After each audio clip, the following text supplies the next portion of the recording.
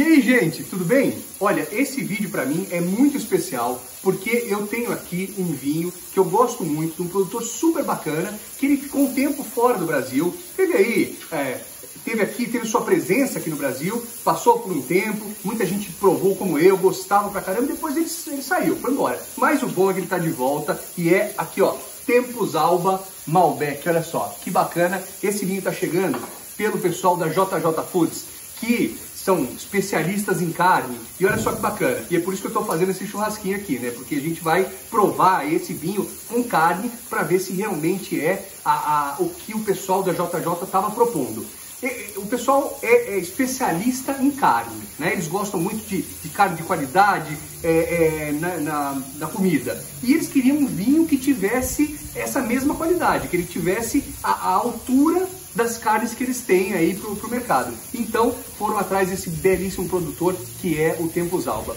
Se você não conhece, Tempos Alba fica em Luján de Cuyo, que é na, em Mendoza, na Argentina, e é uma vinícola pequena, familiar. É, tem o seu Aldo lá, que é o, é o enólogo, o, o pai aí agora, a geração né, que está mais velha.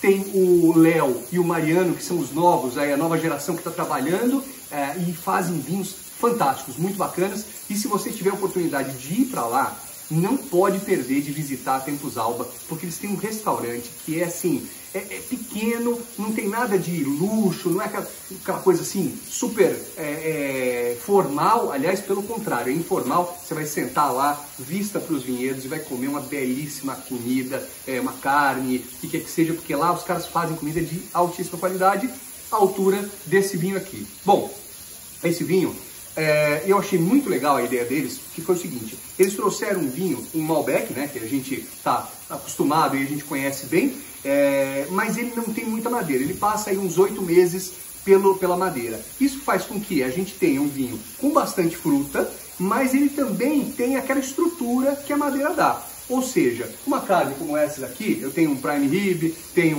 uma, um assado de tira, a gente tem um uh, chorizo também, uh, e depois uma linguiça para a gente provar também. Ele vai muito bem, porque ele aguenta a gordura, mas ele não fica aquela coisa super pesada que a gente às vezes bebe aí alguns Malbecs. Então quer dizer, um Malbec super equilibrado, que tem essa, essa força, essa estrutura para aguentar comida, que pode ser também, se você quiser, se não quiser fazer um churrasco, você pode fazer um assado, uma carne assada, uma carne ensopada, alguma coisa desse tipo, vai ficar super legal. E se você quiser dar uma refrigeradinha nele, é, um pouquinho mais só, você, a gente está acostumado a uns 18 graus, se você quiser cair para uns 15, 16 graus, você consegue beber ele até numa boa com um queijinho, alguma coisa assim, porque é um vinho, além de tudo, super versátil. Então, olha, se você encontrar, ele está chegando no mercado, olha aí, ó, Tempos Alba Malbec, esse aqui é safra 2016, reserva, é uma seleção especial para JJ Foods. Se encontrar, ele já está no Empório Ravioli, já está em alguns restaurantes, você vai conseguir é, provar, vai conseguir encontrar ele aí em algum lugar para poder beber e eu acho que vale a pena, você não vai se arrepender. Além do que, tem um preço bem bacana, você vai, você vai ver lá no restaurante quando você for. Então, vamos agora provar com churrasco, vamos ver se vai ficar legal mesmo isso aqui.